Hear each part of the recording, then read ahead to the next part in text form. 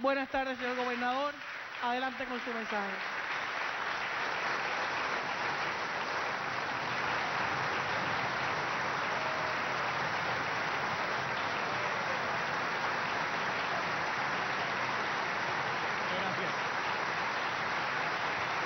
Muchas gracias.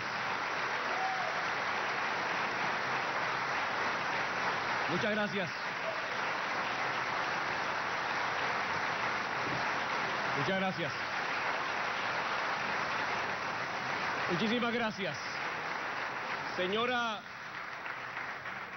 señora presidenta de la Cámara de Representantes, señor presidente del Senado, señoras y señores miembros de la Asamblea Legislativa, señoras y señores jueces del Tribunal Supremo, señoras y señores alcaldesas y alcaldes, señor secretario de Estado y demás oficiales del Gobierno de Puerto Rico, honorable Raúl Izaguirre, embajador de los Estados Unidos en la República Dominicana y demás oficiales del Gobierno Federal, distinguidos invitados, hermanas y hermanos puertorriqueños.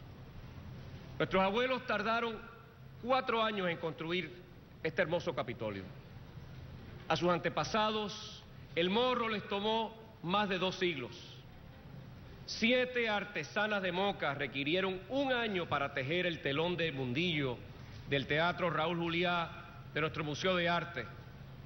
A nuestro insigne artista Francisco Rodón le tomó unos diez años pintar a don Luis Muñoz Marín y lleva otros tantos pintando a don Luis Ferré.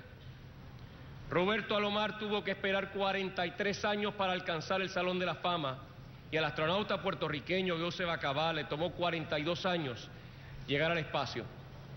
A cualquier joven puertorriqueña graduarse de escuela superior le toma 12 años. Alcanzar su maestría en la universidad, otros seis. Y a cualquier padre o madre puertorriqueña, criar, educar y encaminar a una familia hacer de sus hijos hombres y mujeres de bien les toma toda una vida. Porque la responsabilidad de un buen padre y una buena madre no termina nunca. En la vida los mejores propósitos toman tiempo. Pero hermana y hermano, que me escuchas en tu hogar, los puertorriqueños podemos lograr absolutamente todo lo que nos proponemos. No hay meta que no podamos alcanzar. Todo lo que tenemos que hacer es convencernos a nosotros mismos de que queremos lograrlo. La paciencia todo lo alcanza y el espíritu de superación del puertorriqueño todo lo logra. Las metas más altas, las que representan los mayores retos, toman más tiempo, más esfuerzo y más perseverancia, pero también brindan mayor satisfacción.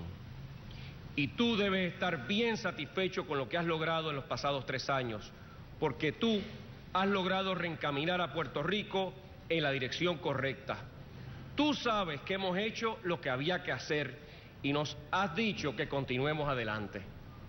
Mientras gente en otros países alrededor del mundo sigue sufriendo porque sus líderes no han tomado las medidas necesarias para enderezar las cosas, en Puerto Rico ya hemos retomado el camino del progreso.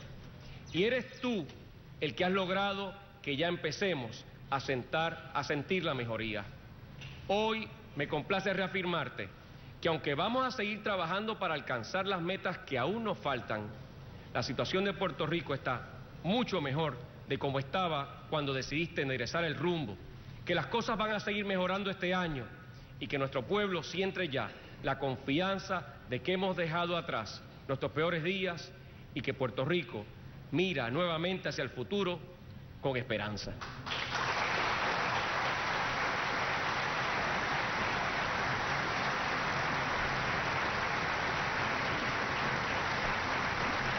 En los pasados dos años, mientras en el resto de Estados Unidos las ventas de casas aún no se recuperó, aquí, sí, aquí en Puerto Rico, 27.500 familias puertorriqueñas pudieron lograr su sueño de adquirir un nuevo hogar, gracias a los incentivos que dimos en impulso a la vivienda.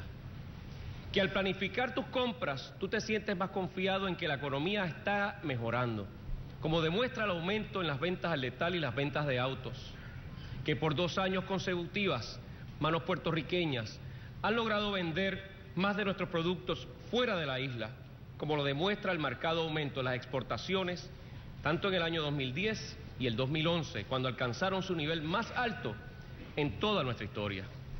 Que con el esfuerzo y dedicación del trabajador puertorriqueño, nuestros pequeños y medianos negocios están logrando competir y tener éxito, como lo demuestran nueve meses corridos de reducción en las quiebras. Más aún, que nuestros empresarios se sienten más confiados a la hora de establecer nuevos negocios y crear empleos, como demuestra el aumento por tres años corridos en el número de nuevas corporaciones registradas que el año pasado, 2011, alcanzó su número más alto en la historia. Que a pesar de un panorama económico mundial incierto, nuestra manufactura da muestras claras de recuperación, logrando expandirse en 13 de los últimos 19 meses. Que el año pasado vimos las primeras noticias positivas en la industria de la construcción. Que los hombres y mujeres que ponen la mejor cara de Puerto Rico al mundo sí lo hacen mejor. En una industria de turismo que el pasado año mostró crecimiento positivo en todos sus indicadores principales, con más visitantes, más vuelos, más pasajeros de crucero y más habitaciones llenas en hoteles y paradores.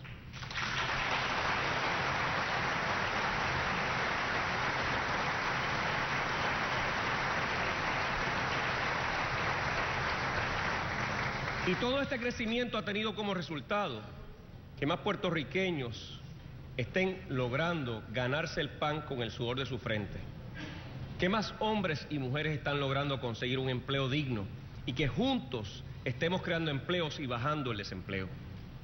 Que el número total de puertorriqueños empleados creció el año pasado por primera vez desde febrero del 2007 y que mientras en países como Grecia y España luchan con un desempleo de 21 y 23%. Aquí el desempleo lo hemos bajado consistentemente en siete de los últimos nueve meses y cerramos el año pasado bajándolo de 15 a 13%.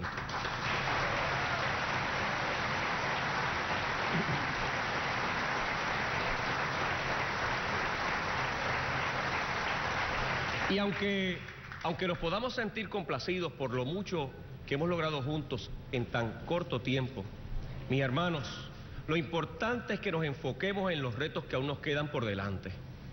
Tenemos que mantener el curso que nos hemos trazado y no podemos arriesgarnos a cambiarlo. Y no nos vamos a rendir.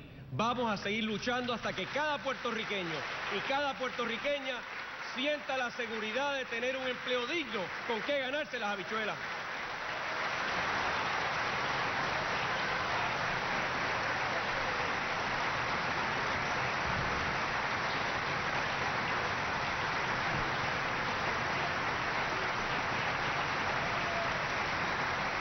No nos a rendir. Hermano y hermana puertorriqueña, hemos empezado a caminar en la dirección correcta. En días recientes vimos en todos los periódicos el anuncio de que en diciembre pasado, por primera vez desde marzo del 2006, cuando ellos cerraron el gobierno y provocaron la depresión económica más larga en nuestra historia, la economía de Puerto Rico finalmente entró en terreno positivo. Y el consenso de los economistas más respetados es que ese crecimiento continuará en los meses que tenemos por delante. No me queda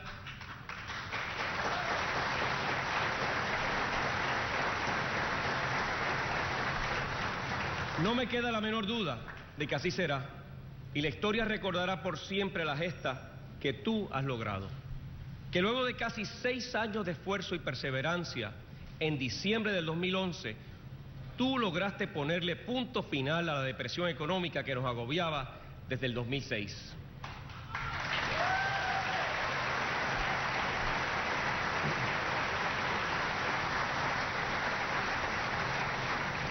Pero oigan, este progreso no ocurre por casualidad.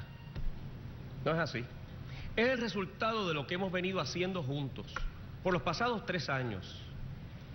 Es lo que logra el que tiene la valentía y está dispuesto a hacer no lo fácil, sino lo correcto. Es el resultado de buenas ideas puestas en práctica por un pueblo que no se rinde.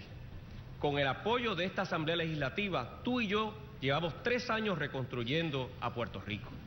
salvando el buen nombre de todos los puertorriqueños en mercados mundiales, elevando nuestro crédito del nivel de chatarra a la nota más alta que hemos tenido en 35 años. Y con ello, salvando decenas de miles de empleos aquí y protegiendo el valor de tu casa, de tus cuentas giras, de los ahorros de decenas de miles de puertorriqueños que se hubieran ido al piso si Puerto Rico se iba a la quiebra.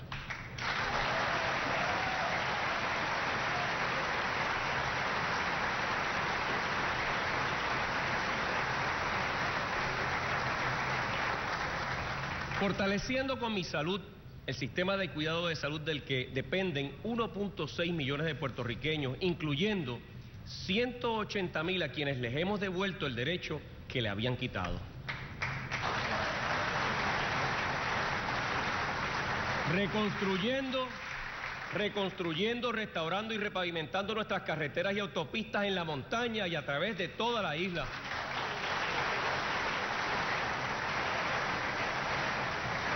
Invirtiendo invirtiendo en proyectos de control de inundaciones en comunidades alrededor de todo Puerto Rico.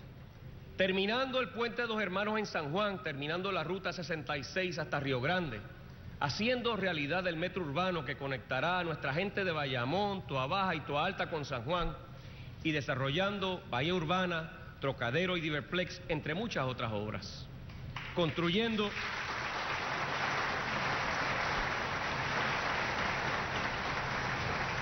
construyendo más de 100 escuelas del siglo XXI, por lo menos una en cada municipio.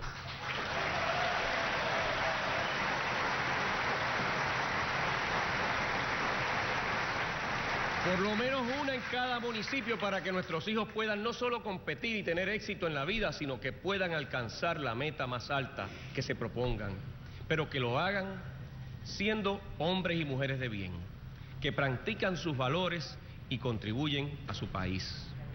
Mejorando la calidad y los servicios de agua a 750 mil puertorriqueños y desarrollando los proyectos de energía renovable que Puerto Rico necesita, como viento, sol, biomasa, hidroeléctrica y recuperación de desperdicios y adelantando nuestra meta de también movernos hacia el gas natural para reducir nuestra costosa dependencia en el petróleo que tanto daño le hacen a nuestro bolsillo y a nuestra salud.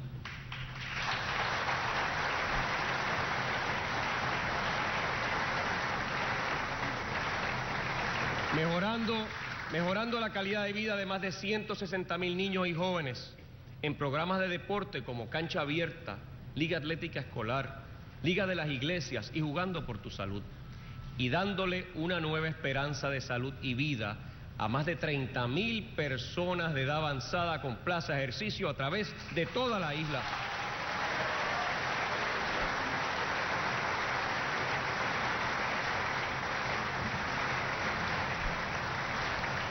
Haciéndole la vida más fácil y ahorrándote, ahorrándole tiempo a los miles de ciudadanos que esperan y se merecen un gobierno ágil y eficiente cuando buscan los servicios que necesitan.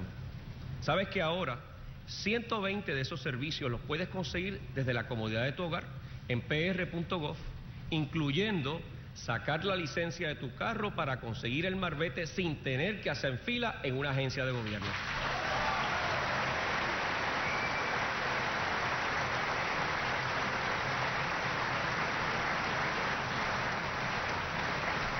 Incentivando y promoviendo el establecimiento de nuevas inversiones, nuevos negocios y nuevas fuentes de trabajo, como LGS Global, que reclutará 100 ingenieros de nuestras universidades, International Mill Company, que generará 1.200 empleos, Rock Solid, una compañía de informática que añadirá 85 empleos a sus operaciones, y M&M Manufacturing con 325 empleos en Lajas en su operación de manufactura y de ropa y accesorios una inversión de 25 millones de dólares y más de 1.780 nuevos empleos, y eso es tan solo en las cuatro operaciones que inauguramos este mes de febrero.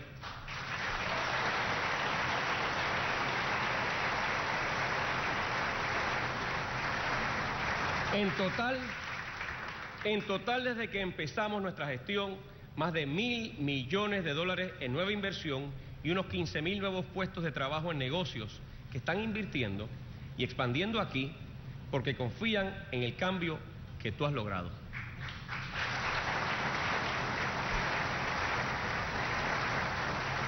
Y muy importándole, muy importante, dejándole más dinero en el bolsillo a nuestra gente. Sí, eso es lo que significa la reforma contributiva, con la que le estamos cortando a la mitad las contribuciones a todo el mundo, a todo el mundo.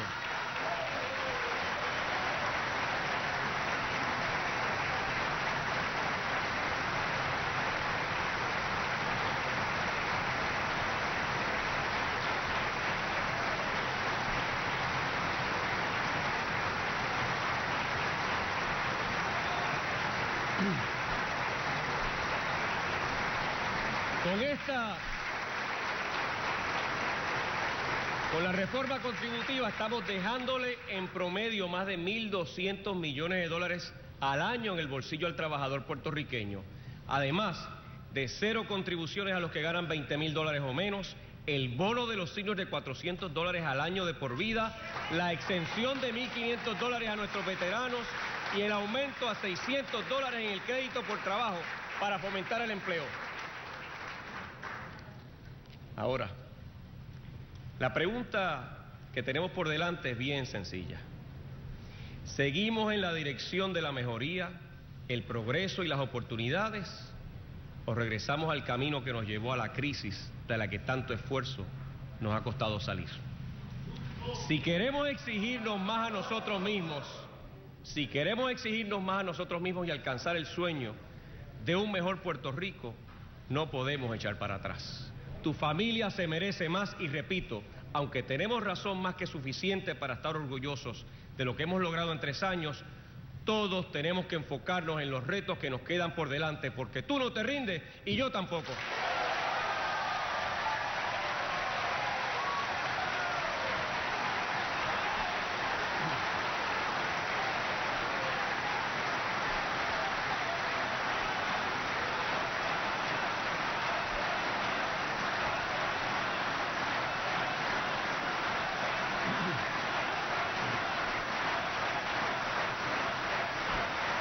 Oye, pero que, que no quepa duda, la menor duda, de que hemos encaminado a Puerto Rico en la dirección correcta, gracias a ti. Que hemos enderezado las finanzas y salvado el crédito, lo hicimos. Que estamos poniendo punto final a la depresión económica que nos dejaron, sí. Que estamos generando más oportunidades de empleo seguro para todos, con tu ayuda que estamos reconstruyendo nuestras carreteras y autopistas en todo Puerto Rico, que hemos mejorado y ampliado mi salud, sin duda, que estamos asegurando el futuro de tus hijos con las escuelas que se merecen, claro que sí, que les hemos bajado las contribuciones a todos y estamos dejando más de tu dinero en tu bolsillo, prometido y cumplido.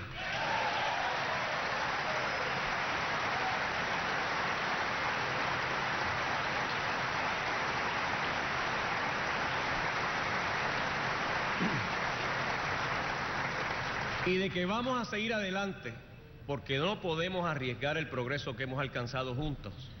Que no te quepa la menor duda que sí, porque tú no te rindes y yo tampoco.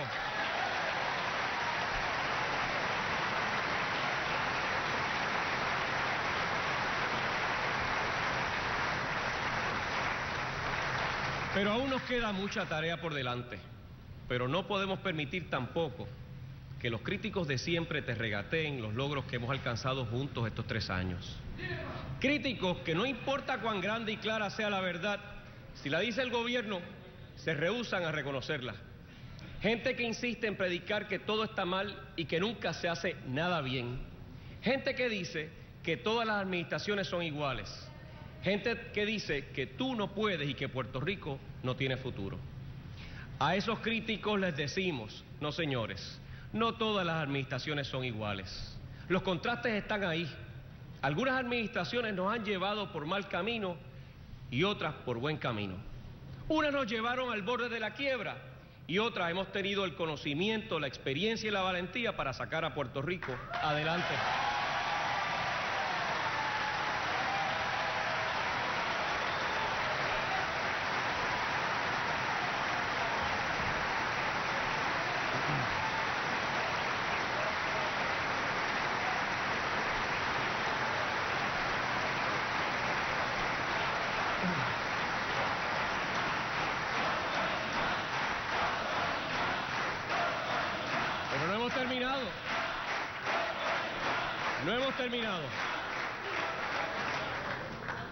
Ellos te subieron la guagua, nosotros cero aumento a la guagua y le bajamos el tren urbano.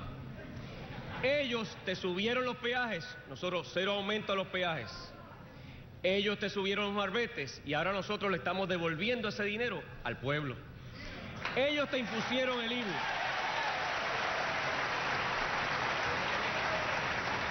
Ellos te impusieron el IVU y te aumentaron las contribuciones. Nosotros le estamos bajando las contribuciones a todos. Ellos te subieron el agua. Nosotros cero aumento en el agua y te quitamos el aumento que ellos habían dejado legislado antes de irse.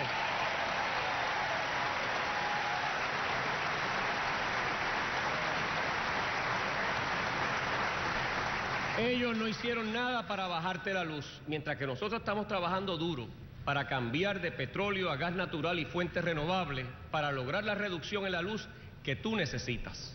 Los puertorriqueños sí podemos, tú no te rindes y yo tampoco. Y Puerto Rico tiene un futuro brillante.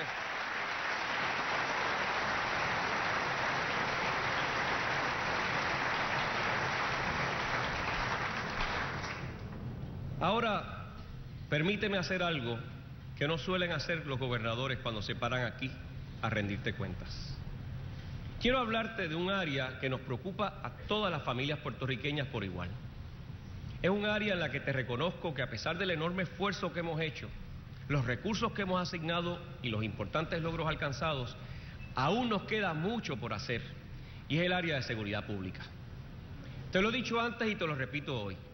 Nadie, y menos yo, puede estar satisfecho con los niveles de violencia e inseguridad que siguen azotando nuestras familias y nuestras comunidades, y en particular el número de asesinatos. La violencia, la violencia no debe tener cabida en nuestra sociedad, y mucho menos la violencia que termina privando la vida a otro humano, ser humano. Por eso no nos vamos a rendir. No vamos a cederle nuestras comunidades y nuestra patria a criminales que no respetan nuestros valores. Se suele decir que todos somos víctimas de la violencia y del crimen. Y es cierto, como sociedad, todos sufrimos su embate, pero no es lo mismo ser testigo que víctima. No es lo mismo leer en el periódico sobre un asesinato que sentir en carne propia la pérdida de un ser querido a manos de un criminal. Si no, pregúntenle a Evelyn Muñiz, quien nos acompaña esta noche, viuda del sargento Abimael Castro Berrocal, que el mes pasado dio su vida cumpliendo el sagrado deber de protegernos a todos. Gracias, Evelyn, por estar aquí.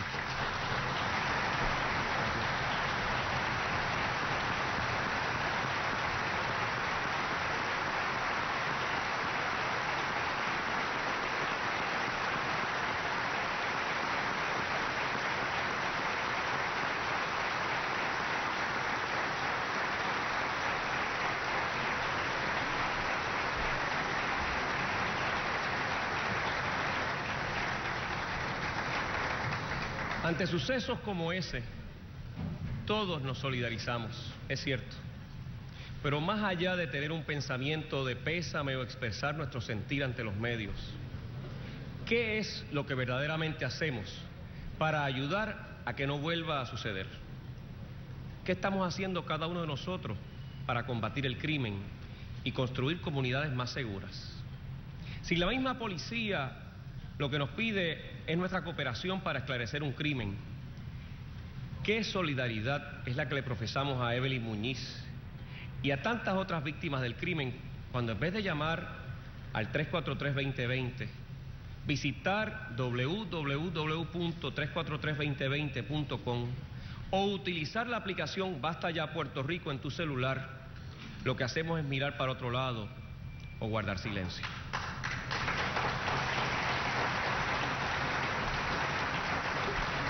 La verdadera solidaridad con Evelyn y sus hijos, John, Perla y Nashali, y con las miles de víctimas del crimen. La verdadera manera de honrar el sacrificio supremo del sargento Castro y su familia es empezar por hablar con honestidad sobre el problema, no utilizarlo como una plataforma para dar un discurso político. Nuestro problema de seguridad pública y la tragedia de sus víctimas son muy serios y muy profundos como para pretender despacharlos con soluciones simplistas. y mucho menos para politiquear con ellos. Porque la verdad es que la seguridad de nuestras familias no es cuestión de colores. Cualquier solución efectiva del problema tiene que empezar por un reconocimiento realista de sus verdaderas causas, un reconocimiento honesto de los esfuerzos y recursos que hasta ahora hemos asignado, un reconocimiento honrado, sí, de los resultados y logros obtenidos hasta ahora, y por supuesto, un reconocimiento sincero de lo que aún nos falta por hacer. Pero, hermana y hermano puertorriqueño, que me escuchas en tu hogar, lo primero que tenemos que hacer es cesar el constante, desmoralizante y destructivo ataque en contra de la policía.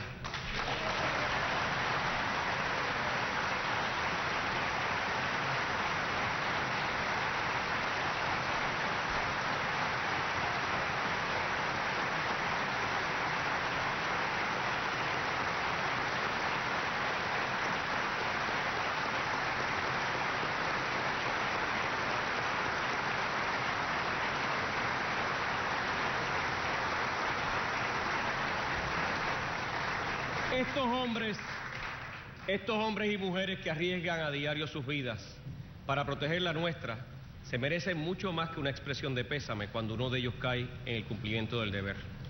Nuestros policías, todos, desde el cadete más joven hasta el oficial con más años en la uniformada, se merecen nuestro respeto, nuestro agradecimiento y nuestro respaldo. El mío lo tienen y sé que el tuyo también. Y quisiera reconocer a los policías y sus familiares que nos acompañan esta noche.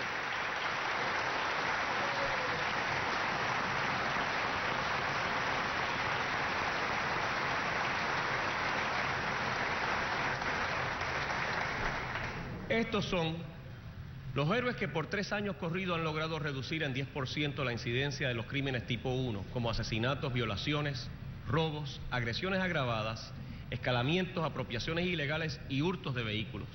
Y tengo que añadir, este mes de febrero es el cuarto mes corrido en que estamos viendo una baja en el número de asesinatos en comparación con el año anterior.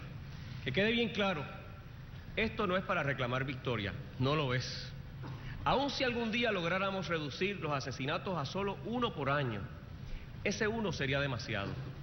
Pero asimismo, cada uno que logramos reducir es un regalo de vida a una familia puertorriqueña. El progreso que hemos logrado no ha sido por casualidad, sino que ha sido el resultado de todas las iniciativas que hemos puesto en vigor desde el primer día como parte de nuestro plan de seguridad pública, como las iniciativas de golpe al punto, golpe al usuario, Grupo de los 100 y los operativos conjuntos de Strike Forces entre autoridades estatales y federales, que desde su comienzo han producido unos 6.000 arrestos, encontrándose causa probable en el 95% de los casos. La desarticulación de más de 400 puntos de droga, la confiscación de cientos de armas de fuego, millones de dólares en efectivo y cuantiosas cantidades de droga, así como la desarticulación de las organizaciones criminales de Ángelo Millones, Junior Cápsula y todos los otros notorios narcotraficantes que nuestra informada ha puesto fuera de circulación y que hoy se encuentran tras las rejas.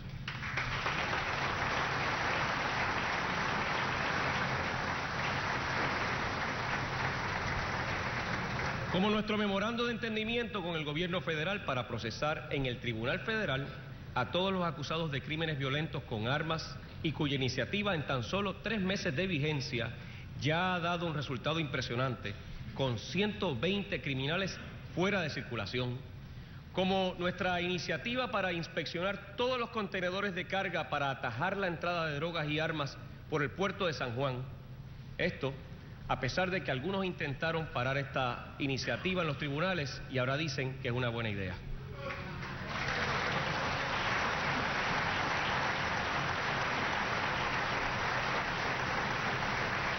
Nuestros esfuerzos para que el gobierno federal asigne más recursos a combatir el trasiego de drogas por la frontera caribeña. Lo que nosotros dijimos primero hace tres años, ahora todo el mundo lo está reconociendo.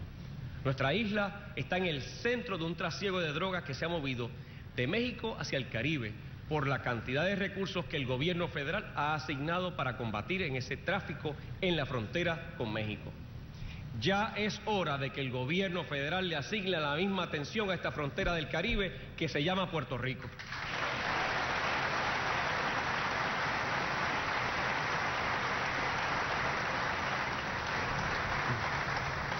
Por otro lado, no sería justo exigirle a nuestros policías que desempeñen su heroica misión sin darle las herramientas que necesitan. Por eso desde que empezamos hemos asignado más de 48 millones de dólares en la compra de equipo, patrullas, chalecos, tecnología y otras herramientas que les permitan hacer mejor su trabajo. Y sí, por primera vez en años le estamos haciendo justicia salarial a nuestros policías. Primero, ajustando los salarios para que cada miembro de la fuerza reciba el salario que se debe estar ganando de acuerdo a su puesto. Y segundo, otorgándoles a todos un aumento de 1.200 dólares al año.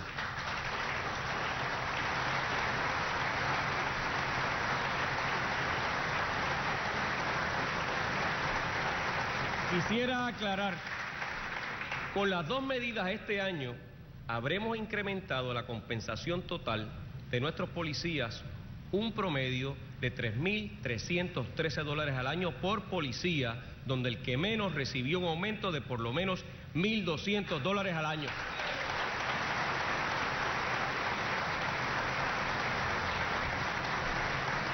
Y si me permiten, si me permiten, me gustaría aclarar algo.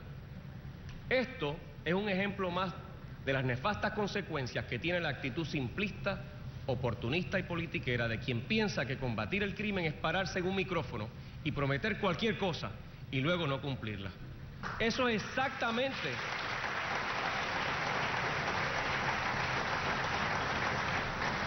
Eso es exactamente lo que hicieron algunos predecesores nuestros, que se pararon en este mismo lugar, para anunciar que le iban a dar un aumento a la policía a sabiendas de que no iban a cumplir porque no tenían los recursos para hacerlo.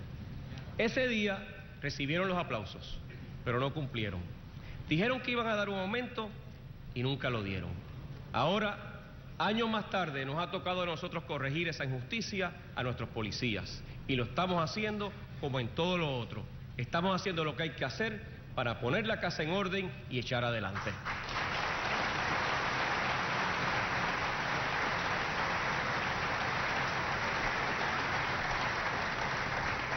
Pero Además de darle más recursos, nuestro plan de seguridad pública también incluye darle a nuestros hombres y mujeres en uniforme otro tipo de herramientas para hacerlo. No solo mejores policías, sino mejores servidores públicos y mejores ciudadanos. Porque la efectividad de su gestión de brindarte seguridad a ti, a tu familia y tu comunidad no depende únicamente de los recursos materiales con los que nuestros policías puedan contar. Depende también de la medida en la cual cumplen su misión de protegerte siguiendo los más altos criterios éticos, profesionales y constitucionales. Desde hace más de un año, con la ayuda del mejor equipo de asesores especializados, la policía ha estado llevando a cabo el proceso de reforma más abarcador en toda su historia, revisando e implantando nuevas políticas y prácticas en todas las áreas críticas de su operación. Como resultado, nuestra policía cuenta ya con una de las políticas de uso de fuerza más modernas de todos los Estados Unidos. En menos de un año hemos entrenado en esta nueva política a más de 16.000 de los 17.000 efectivos y próximamente habremos entrenado a toda la fuerza policial. Y estamos estableciendo las estructuras de supervisión necesarias para asegurar el cumplimiento estricto de estas nuevas políticas. Además, estamos estableciendo los mecanismos para revisar todo incidente de uso de fuerza para asegurar que solo se usa responsable y apropiadamente según las exigencias particulares de cada situación.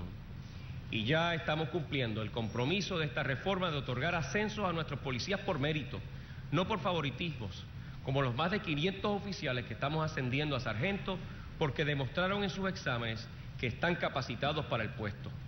Y así lo haremos en los próximos meses cuando administraremos los exámenes para los puestos de capitán, teniente primero y teniente segundo.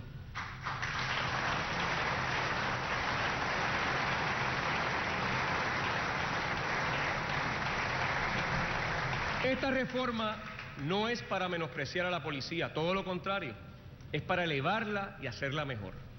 Soy fiel creyente de que una policía íntegra y profesional, fiel protectora de los derechos civiles de todos, va a gozar de la confianza de toda la ciudadanía. Y precisamente por eso va a ser más efectiva y exitosa dándote seguridad a ti y a tu familia y luchando contra el crimen. Esto es bien sencillo. Una mejor policía es igual a un Puerto Rico más seguro.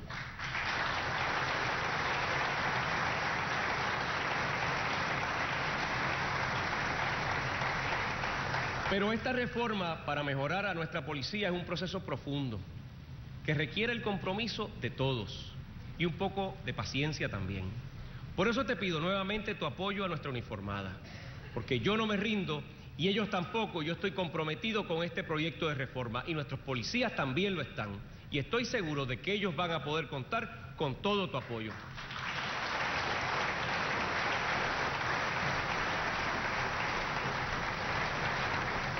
Pero nuestra lucha por tu seguridad va más allá de darle más recursos a la policía.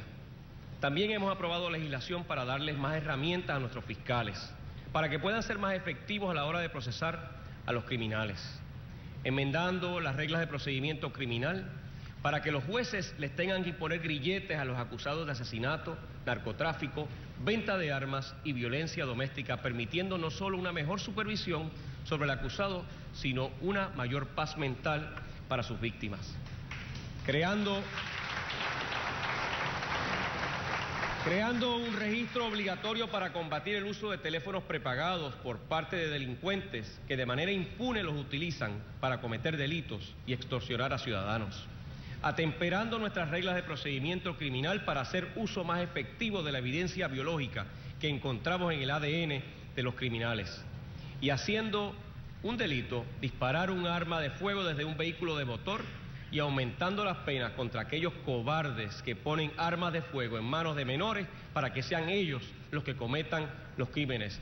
Esto como parte del nuevo Código Penal para imponer penas más altas a los criminales, el cual convertirá en ley tan pronto culmine su aprobación por ambos cuerpos.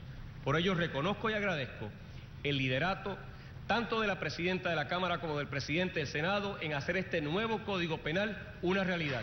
Muchas gracias.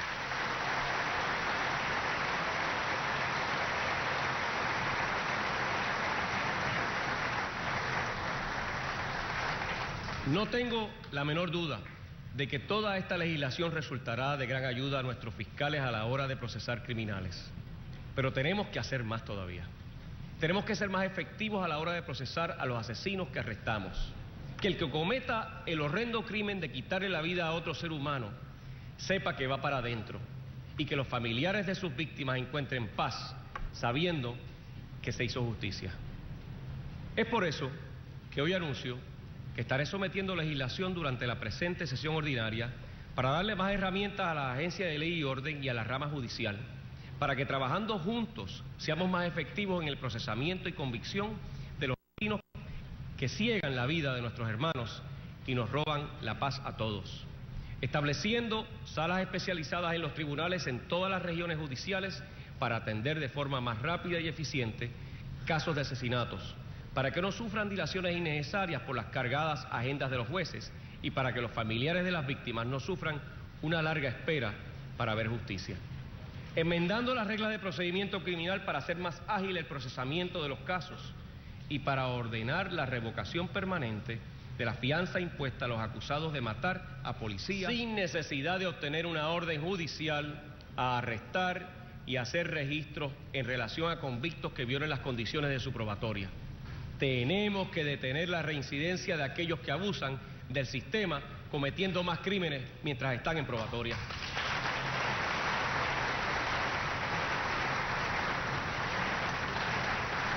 Apoyando legislación para establecer unas guías que tendrán que seguir los jueces al imponer fianzas en casos de asesinato, agresión sexual y violación a la ley 54 que implique grave, grave daño corporal, entre otros. Asegurando que criminales peligrosos no puedan salir a la calle con fianzas excesivamente bajas y evitar así que se repitan tragedias como la de Wanda Camacho de Ceiba, cuyo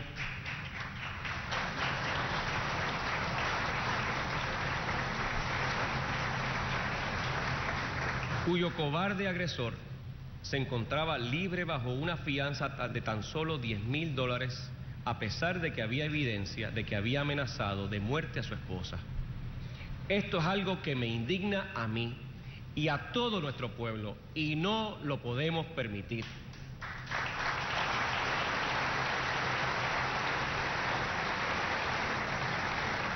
Mi compromiso, mi compromiso con la lucha en contra de la violencia doméstica es inquebrantable y no tendremos compasión con criminales que atentan contra la seguridad física y psicológica de nuestras mujeres. Las víctimas de esta tragedia se merecen la certeza de que el sistema de justicia hará todo lo que sea necesario para que se sientan seguras y recuperen la paz. No permitiremos que ningún agresor tenga una segunda oportunidad de causarle daño a su víctima. Para ello,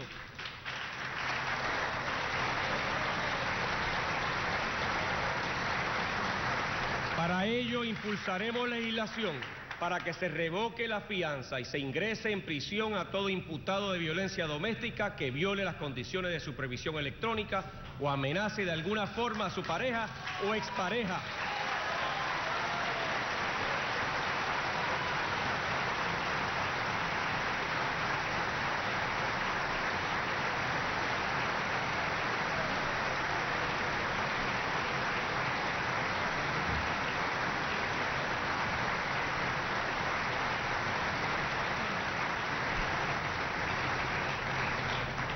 De esta forma, les garantizamos a las víctimas de violencia doméstica y sus familiares que encontrarán paz y tranquilidad.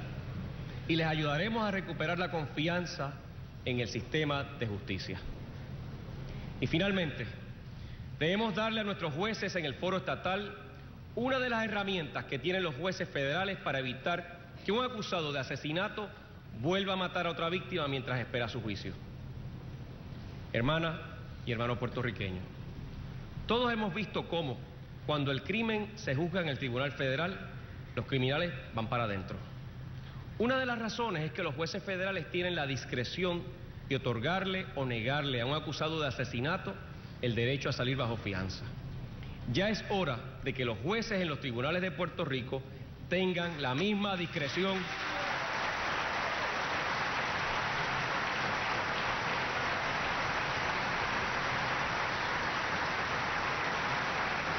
Es por ello,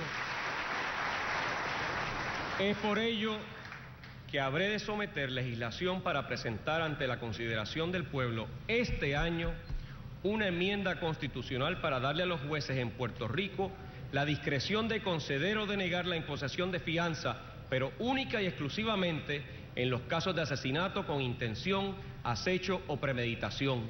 A diferencia de la propuesta del 1994 que hubiese limitado todo el derecho a la fianza. Aquí el derecho a la fianza se mantiene. Pero en los casos de asesinato con intención, acecho o premeditación únicamente, el juez tendría la discreción de concederla o de negarla, al igual que ocurre hoy en el Tribunal Federal.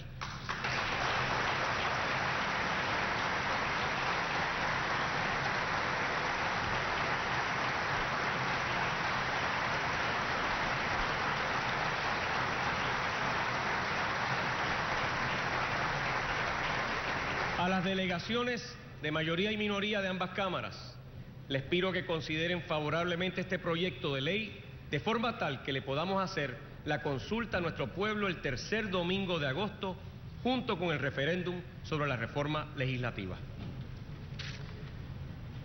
Hermanos puertorriqueños, esta meta que aún tenemos por delante para traerte paz y seguridad a tu hogar y a cada hogar puertorriqueño, la podemos alcanzar juntos con dedicación, esfuerzo y perseverancia, no tengo la menor duda de que lo podemos lograr.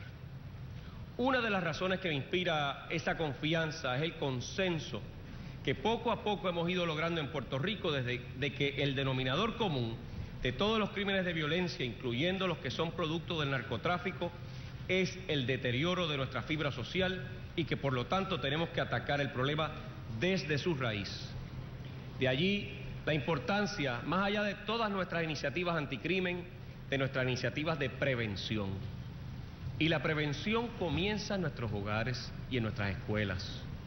Por eso hemos implantado el, programa abarcador Tus Valores Cuentan, una plataforma de educación de valores que se integra al currículo y el ambiente escolar mediante talleres, ejercicios, promociones y proyectos para inculcar en nuestros estudiantes la importancia de la confiabilidad, el respeto, la responsabilidad, la justicia, la bondad y el civismo. Unos 110 mil estudiantes y 10 mil maestros en 340 escuelas ya están participando del programa y distintas modalidades del mismo se han incorporado en otras agencias de gobierno para promover la conducta ética y el buen servicio entre los empleados públicos.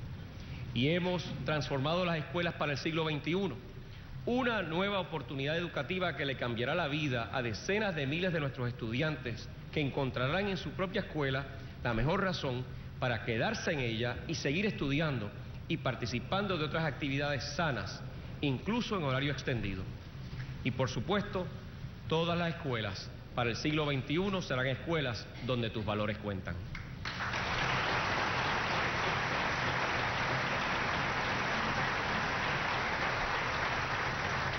Y propiciamos las escuelas especializadas de arte y deporte, una iniciativa de vanguardia que con su concentración en entrenamiento deportivo y artístico busca cautivar la atención de los estudiantes y ampliar su compromiso con la educación, exponiéndoles a carreras y oportunidades profesionales en los deportes y en las artes. Este modelo se ha convertido en una herramienta de retención tan poderosa que lo estaremos ampliando este próximo semestre. Lamentablemente, no todos nuestros jóvenes están en la escuela y necesitamos llegarle a todos. Un desertor escolar que rescatemos es un joven que podemos haber librado de las garras del crimen. Es por eso que estamos enfocados en fomentar iniciativas para prevenir y atender la deserción escolar. Como la Alianza para la Educación Alternativa, un esfuerzo colaborativo de cinco organizaciones sin fines de lucro, Aspira, Proyecto Nacer, Centro Solisolina Ferré, Nuestra Escuela y Peces, que les ofrecen una alternativa educativa a 3.000 jóvenes de 44 pueblos con un asombroso 100% de retención. Me gustaría reconocer a los representantes de algunas de estas organizaciones que están con nosotros en la noche de hoy. Muchas gracias.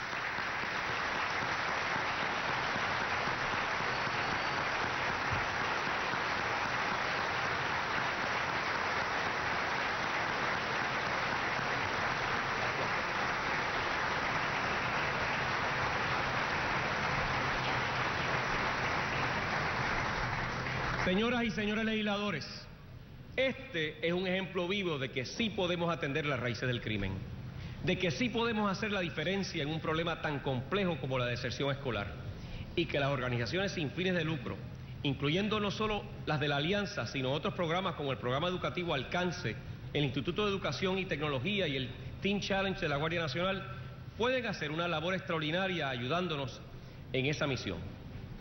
Es por eso que estaré sometiendo legislación para crear la ley habilitadora para el desarrollo de la educación alternativa en Puerto Rico.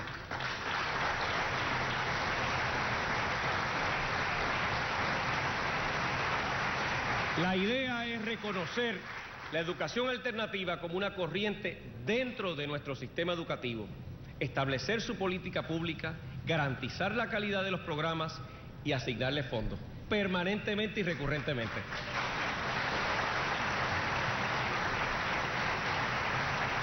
Ustedes.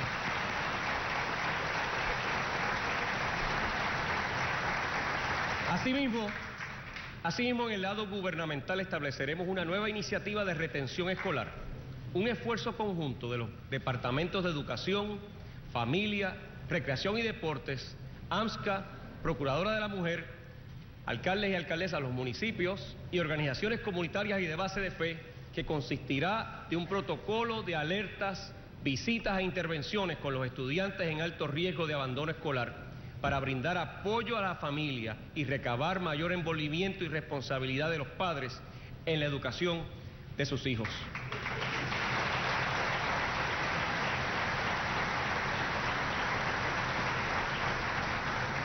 Estas iniciativas se unen a los logros que ya hemos alcanzado en educación, empezando por haber sacado el departamento de la Sindicatura Federal. Como en el resto del gobierno pusimos la casa en orden en educación. Por primera vez en años el Departamento de Educación Federal elogió el cumplimiento, seguimiento y buen uso de los fondos federales en el área de educación. ¿Qué quiere decir? Lo que quiere eso decir es que los recursos para la educación de tus hijos están llegando al salón de clase, que es donde tienen que estar. Ampliamos los recursos docentes para nuestros niños, otorgándole permanencia a unos 4.300 maestros, la mayor parte de difícil reclutamiento, que llevaban ocho años esperando por esa permanencia. Y finalmente les estamos haciendo justicia a nuestros estudiantes de educación especial, atendiendo el reclamo histórico de sus padres con el nombramiento de unos 1.300 facilitadores docentes y la permanencia de casi 1.500 asistentes de servicio a estudiantes. Estos recursos adicionales ya están haciendo la diferencia para miles de estudiantes de educación especial, reduciendo sustancialmente el tiempo de evaluación para ingresar al programa, con un 97% de ellos siendo evaluados en menos de 60 días, mientras que antes podía tomar más de un año, y reduciendo de nueve meses a 75 días el tiempo promedio en que el estudiante es evaluado para comprarle el equipo que necesita, entre otros logros.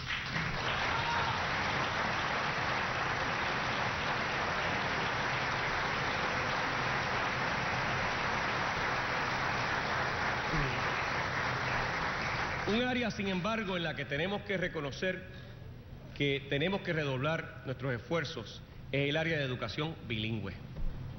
Para el año 2000 existían en el Departamento de Educación sobre 460 iniciativas bilingües, 14 de ellas escuelas de inmersión total. Durante los siguientes ocho años estos programas fueron totalmente abandonados y desmantelados. Hoy en día solo quedan 35 escuelas con algún tipo de ofrecimiento bilingüe. Esto es totalmente inaceptable. Tenemos que hacer mucho más. Hablar inglés no es un asunto de colores, es un asunto del presente y del futuro de nuestros hijos. Negarle a nuestros niños y jóvenes que puedan comunicarse en inglés y español como ciudadanos perfectamente bilingües es regatearles su futuro.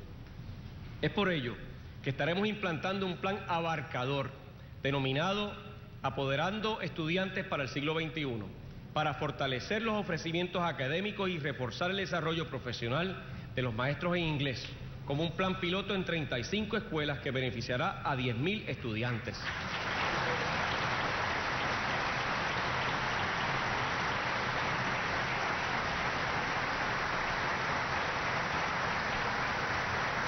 Además, además, implantaremos el programa de educación bilingüe, denominado Educación Bilingüe para el siglo XXI, con énfasis en los grados K a 2, en otras 31 escuelas, al menos una en cada distrito escolar. Este programa va a beneficiar a otros 8.400 estudiantes. Y estaremos complementando estos ofrecimientos con otras iniciativas dirigidas a lograr que cada niño puertorriqueña tenga completo dominio del inglés. Hablar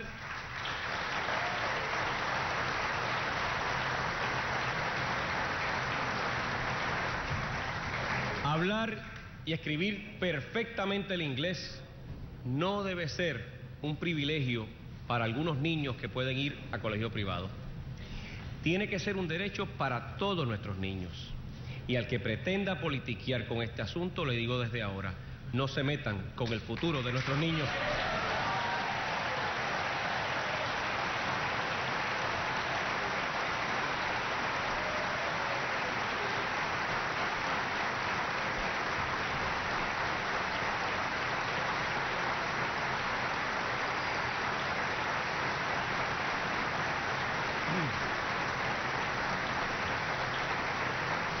Finalmente, finalmente, este año tendrás en tus manos el poder de decidir el destino de nuestra patria.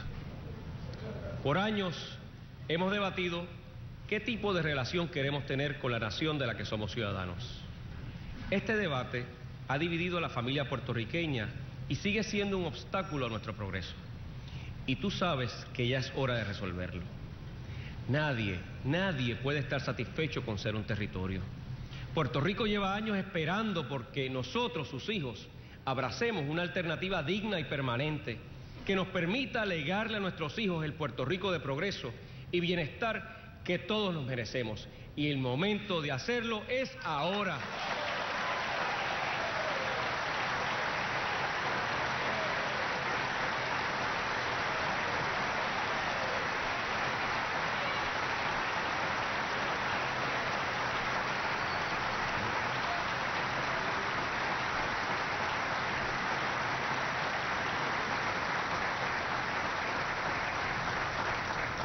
Hermana y hermano puertorriqueño, estamos en el umbral de un nuevo amanecer.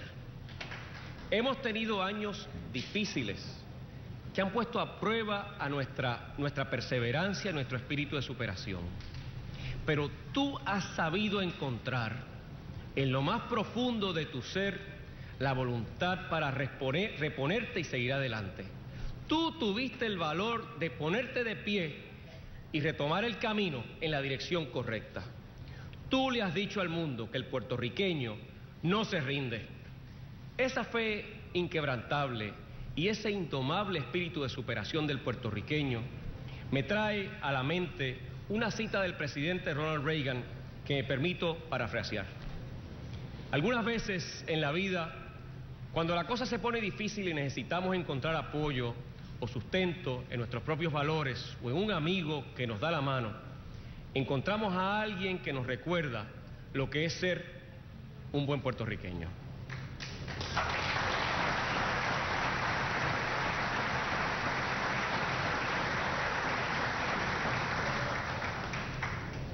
Yo conocí a un buen puertorriqueño, alguien que me enseñó lo que significa no rendirse.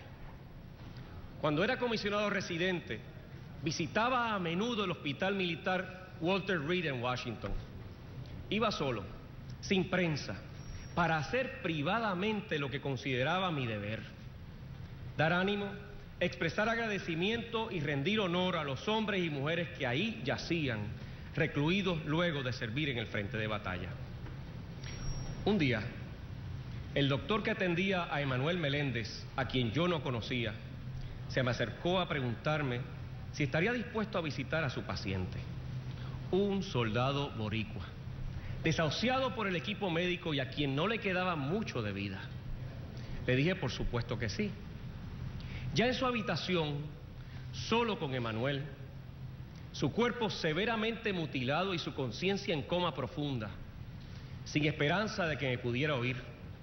Hice lo que cualquier cristiano hubiera hecho, susurrarle al oído mi orgullo y mi agradecimiento como puertorriqueño y como ciudadano americano por su entrega y su sacrificio en defensa de la democracia y de nuestra nación. Y le dije, no te rindas.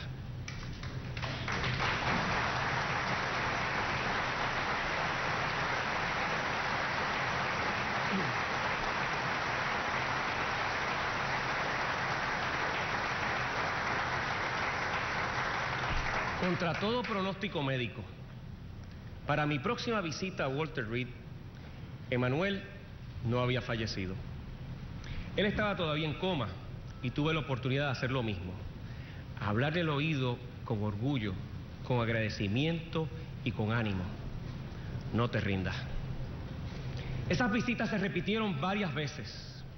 Meses más tarde su familia me contactó para pedirme si accedería a la solicitud de Manuel de que fuera yo quien le colgara la medalla de honor del Congreso. La sorpresa y la alegría no pueden haber sido más grandes. Emanuel no solamente había recuperado, sino que estaba a punto de recibir el máximo galardón de una nación agradecida. Lo inexplicable es que él nunca me había conocido y su familia jamás le dijo que yo había estado con él durante su coma, pero nunca se rindió y hoy Emanuel dedica su vida a enseñarles a otros a no rendirse. Señoras y señores, le presento a un ejemplo vivo de la perseverancia y el espíritu de superación puertorriqueño, Emanuel Meléndez.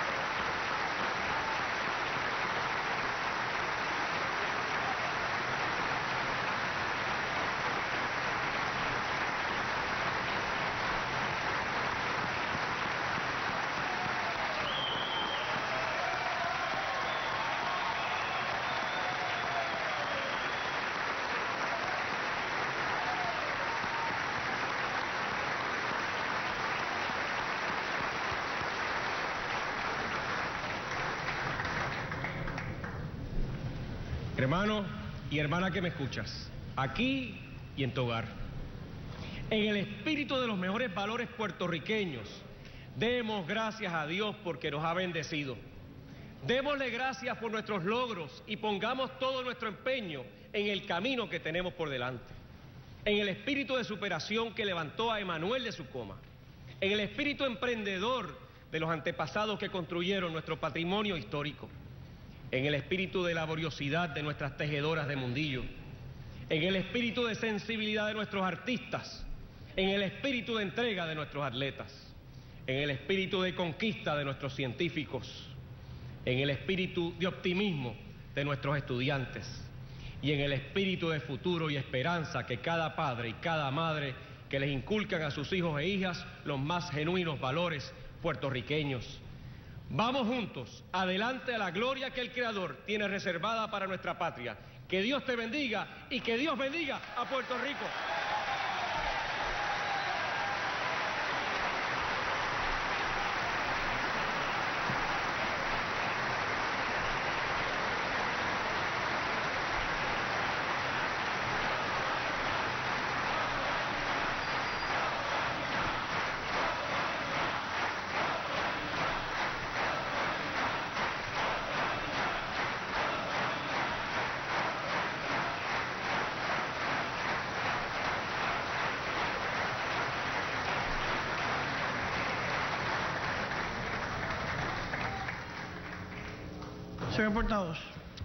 Señora Presidenta, antes de despedir al señor gobernador y en el espíritu de seguir adelante y no rendirnos jamás, solicito un fuerte aplauso para el señor gobernador de Puerto Rico, Luis Ortuño Urso.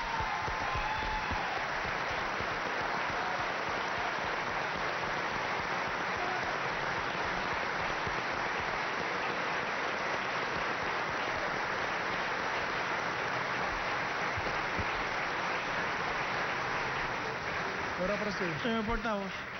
Señora Presidenta, habiendo concluido el mensaje del señor gobernador, solicitamos y proponemos que se nombre una comisión especial que escolte al señor gobernador de Puerto Rico a la presidencia de la Cámara de Representantes.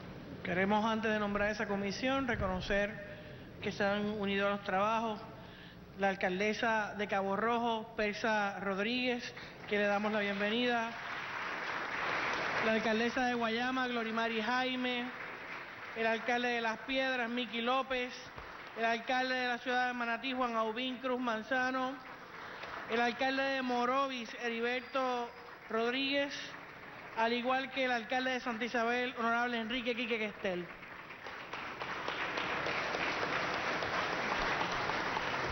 Por parte de la Cámara de Representantes designamos a la representante Paula Rodríguez Oms, a la representante María de Lourdes Ramos Rivera, al representante Ángel Pérez Otero, al representante José Luis Jiménez Negrón y al representante Ángel Bulerín, así como a los miembros representantes Jorge Colbert Toro y la representante Brenda López de. Por parte del Senado de Puerto Rico, a la senadora Soto Villanueva, a la senadora Santiago González, la senadora Romero Donnelly, la senadora Rashki Martínez, el senador Díaz Hernández y el senador Hernández Mayoral. Señora Presidenta, solicitamos un breve receso. Queremos despedir de este hemiciclo de la Cámara de Representantes al gobernador de todos los puertorriqueños, honorable Luis Fortuño Burset, quien hoy ha dado cátedra, un mensaje de futuro hacia nuestros niños, la educación y la seguridad pública del país en su mensaje de situación de Estado del pueblo de Puerto Rico.